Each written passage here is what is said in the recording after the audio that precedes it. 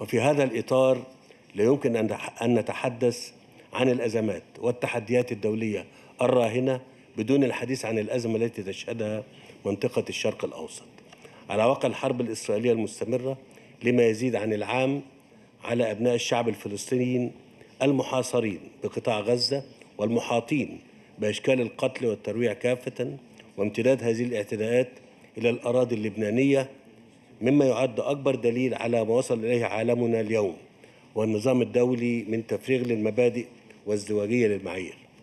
فضلا عن غياب المحاسبة والعدالة إزاء الانتهاكات التي ترتكب في حق المواثيق الدولية وقواعد الدولي وقواعد القانون الدولي والإنساني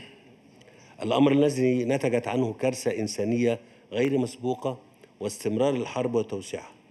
وهي كلها شواهد تفرض تضافر الجهود الدولية لوقف التصعيد الخطير في المنطقة ومنع انزلاقها إلى حرب شاملة